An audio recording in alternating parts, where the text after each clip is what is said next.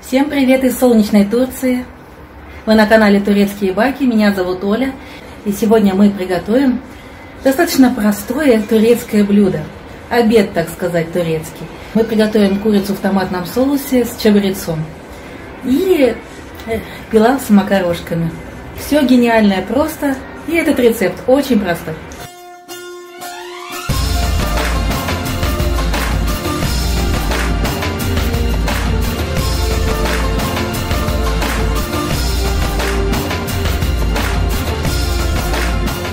Итак, прежде всего нам понадобятся помидоры.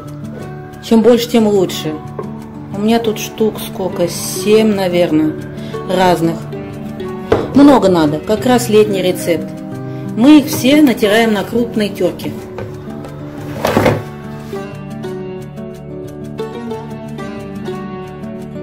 Шкурка не нужна будет.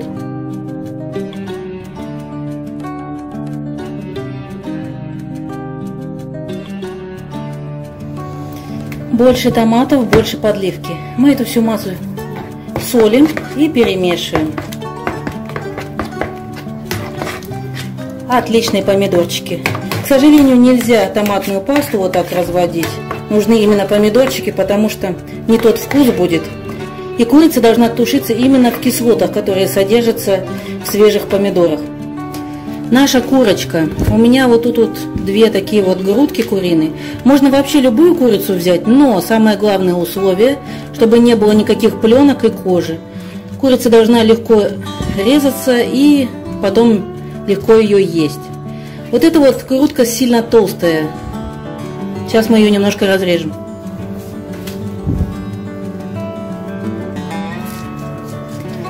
Я разрезаю их вдоль, чтобы они были просто тоньше. Вот такие слайзы должны получиться.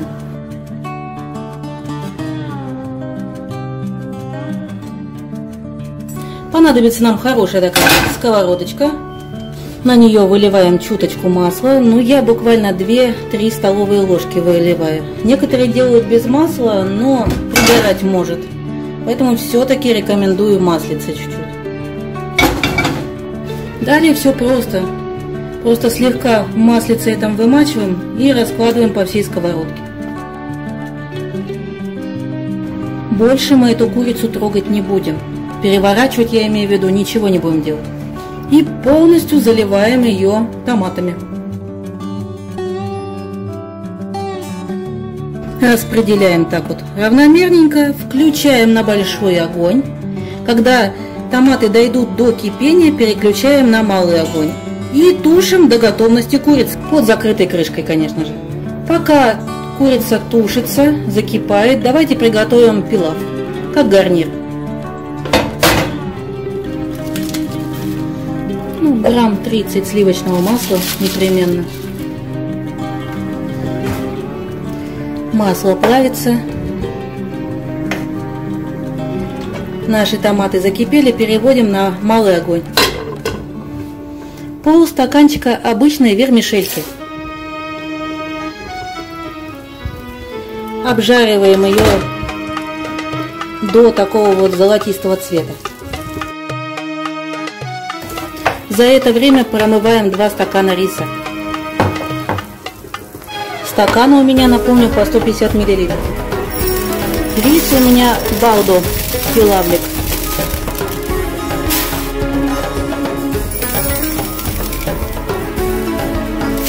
непременно моем, все это очень грязное всегда. Видите, вода грязная всегда получается.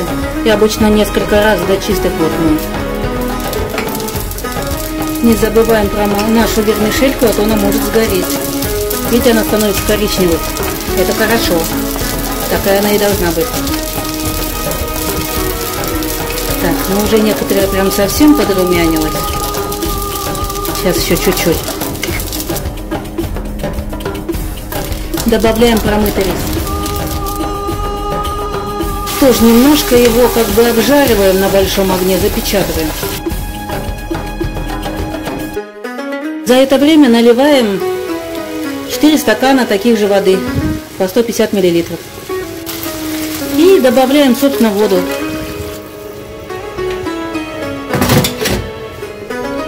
Хорошенько перемешиваем, чтобы нигде рис не прилип. Это очень важно. Водичка желтенькая от масла сливочного.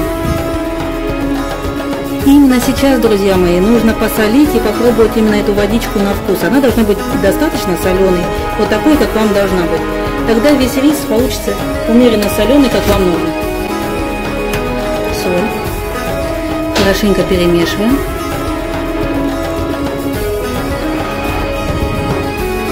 Пробуем. Супер. Запомните, вы последний раз сейчас перемешивали. Теперь накрываем это дело крышкой Доводим до кипения, как закипит на малый огонь и вообще больше рис не трогаем. Ждем, когда он сварится. Что с нашей курицей? Курица кипит. За ней тоже иногда посматриваем, она должна свариться до готовности стушиться. Но если вдруг мало воды, вы должны воды из чайника добавить будете. А так вроде все нормально тушится. Рис закипел. Просто переводим на малый огонь. Ни в коем случае не перемешиваем, а то будет каша. Все, перевели на малый огонь, продолжаем дальше. Вода должна вся уйти из риса.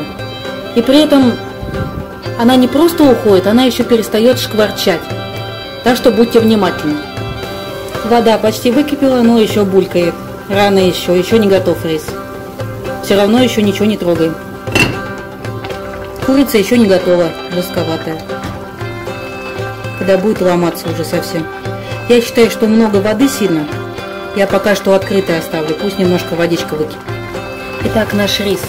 Смотрите, он практически готов, но если прислушаться, все еще немножко скворчит. Поэтому дадим ему еще минуток 5 максимум. Так, ну почти перестал скворчать рис, поэтому я выключаю просто плиту и оставляю его еще минут на 10. И он будет готов абсолютно. Курица у нас еще пока не готова. Продолжаем готовить курицу. Итак, наконец переходим к курице. Смотрите, волокна хорошо разделяются у курицы. То есть полностью. И она достаточно мягкая. Все, это значит, что она готова. Небольшое количество соуса должно остаться. Не совсем как бы без воды. Мы выключаем плиту. И достаем вот такую специю. Называется кикик на турецком и по-нашему чабрец. И смотрите, по курице вот так вот потихонечку насыпать прямо сверху.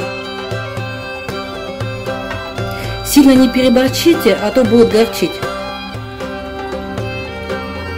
Ну, я еще вот так присыпаю. Все, теперь ничего не перемешиваем, накрываем крышкой и тоже оставляем как плов на 10 минут.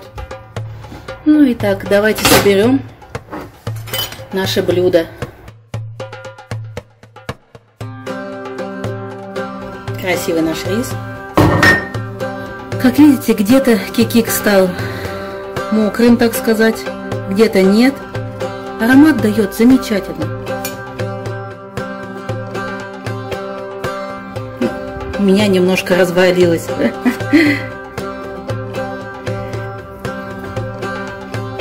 Вот такое вот замечательное блюдо. Афия Толсу. Понравился рецепт? Непременно подписывайтесь на канал, ставьте пальчики вверх и смотрите другие рецепты в плейлисте «Простая турецкая кухня». Там, я думаю, вы найдете много чего интересного для себя. А на этом пока все. Пока-пока.